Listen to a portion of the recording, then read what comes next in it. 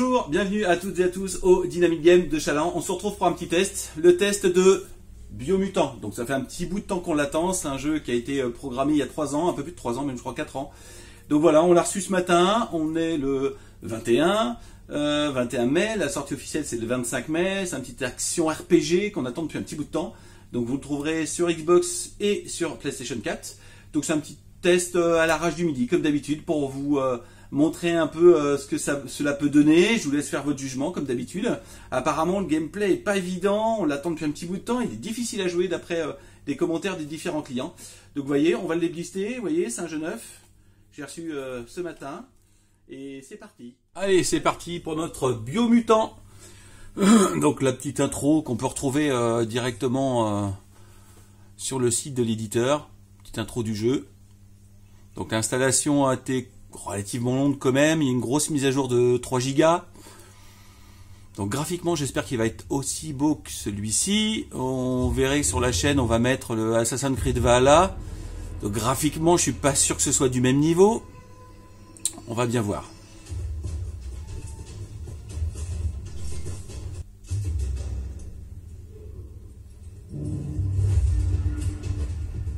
Oh ça va être compliqué pour lui. Yes. Vous verrez qu'on peut faire évoluer les armes. Il peut s'accrocher sur différentes parois. On peut accoupler ou synthétiser différentes armes pour en faire des plus puissantes. Vous avez différents modes de locomotion. Bon, il a l'air terrible. Moi, ce qui va m'intéresser, c'est surtout le gameplay. C'est surtout la façon de jouer. Apparemment, il est pas évident à jouer. Donc, on va voir. On va voir. Il sera disponible que la semaine prochaine, mais... Allez, nouvelle partie. On va mettre en moyen. Il n'y a pas de raison. Alors, qu'est-ce que ça peut donner On dirait un petit robot.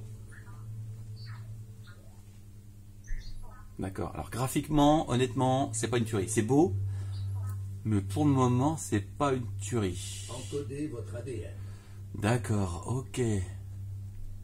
Excellent. Donc on peut modifier le visage du personnage. On va regarder en primal. Définissez votre structure génétique.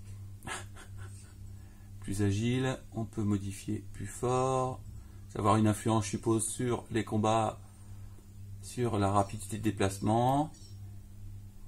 on va se mettre, euh, on va se mettre un peu plus agile peut-être. Non, on va se mettre au milieu. Parfait. une résistance génétique. Alors la résistance génétique, la radioactivité peut-être plus. Euh, contamination, le froid, la chaleur. On va plutôt avoir une petite résistance euh, à la contamination. Choisissez le style de fourrure.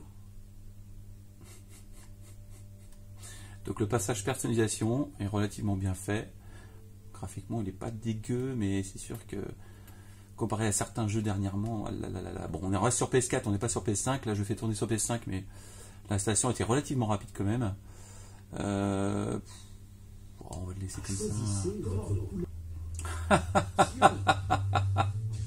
D'accord. sentinelle, pas mal, pas mal. Ah oui, il y a différentes classes. on va essayer franc-tireur. Classe choisie, franc-tireur.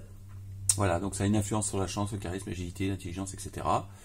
Donc euh, on y va, c'est parti. Ah ouais, le déplacement. contre son gré sous le feu des projecteurs d'une histoire qui a déjà commencé. Apparemment, je vous mettrai quelques vidéos euh, avec celle-ci pour vous montrer un peu. Hop. Ok. On peut sauter deux fois. on peut sauter deux fois. Donc un petit dipsaciel au début du jeu qui vous apprend à manier le personnage. C'est pas plus mal. D'accord. Donc ça n'a pas l'air d'être un monde ultra ouvert, mais vous avez quand même des choix à faire. Qu'on peut courir peut-être. Euh, ouais, on peut courir en appuyant sur la touche R3. L3. Ok. Ok, on va avoir des premiers combats, je suppose. Alors, une nouvelle quête. souvenez-vous de la bête qui a brisé votre fenêtre Compliqué. Ok, roulade. Ok.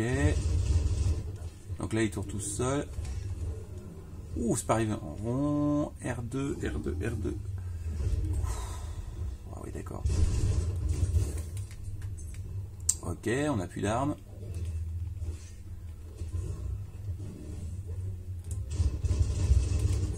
Ok, on peut glisser et tirer en même temps. On peut... On peut tirer. Ok. Waouh, waouh, waouh, Une parade. Ah oui, il y a une garde quand même. Ouais, yes. La garde est relativement correcte. Rond et carré. Ah ouais, ok. Les petits enchaînements sympathiques. Croix carré. Eh ouais, comme le début du jeu, comme l'intro. Donc vous avez toute une combinaison de touches qu'il va falloir assimiler. Donc pas évident à prendre en main. Mais par contre, la maîtrise est relativement correcte. Ce n'est ni le moment, ni l'endroit de mettre Ouh. fin à cette histoire. Donc ça fait, dans le maniement, ça fait un peu penser à Devil May Cry. Ouf.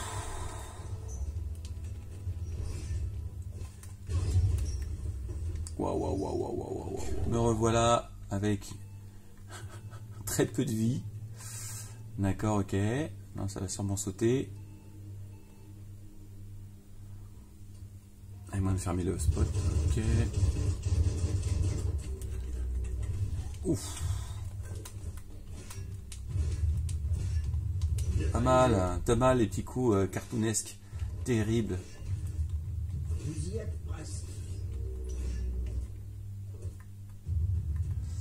Là il est mort, ok. Est-ce que j'ai quelque chose à récupérer?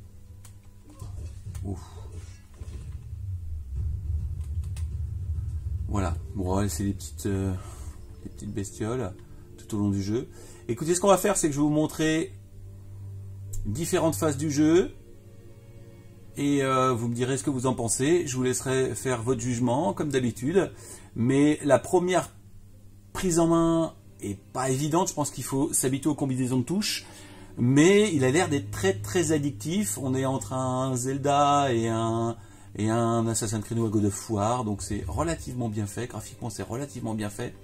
Franchement, les amis, c'est parti, je pense pas que ce soit un mauvais titre. hein. Je m'attendais à quelque chose de plus catastrophique et même le graphisme est relativement correct. Alors peut-être qu'il est optimisé sur PS5, mais pour l'instant, il me paraît vraiment sympathique. Faut être posé pour pouvoir y jouer parce qu'il y a tellement de combinaisons de touches.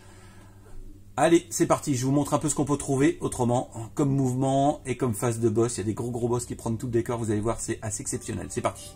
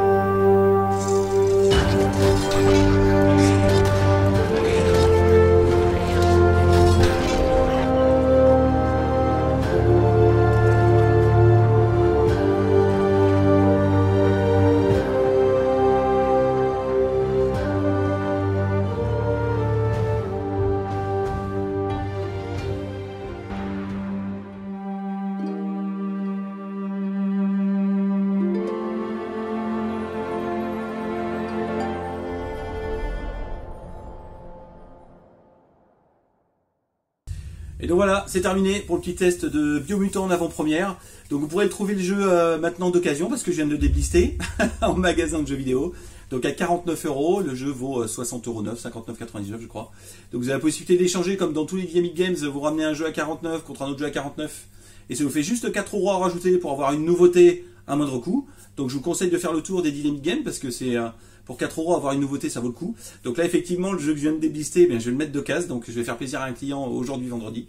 Donc euh, très bon jeu, un peu un peu jeu de rôle, euh, graphiquement un peu en dessous de ce qu'on pourrait voir, mais au niveau ambiance ça a l'air très très long, très très bien, comme les images que vous avez pouvoir que vous avez vu juste avant. et là, effectivement, on a des boss énormes, il faut trouver leurs points faibles, des enchaînements, on peut faire évoluer ses armes.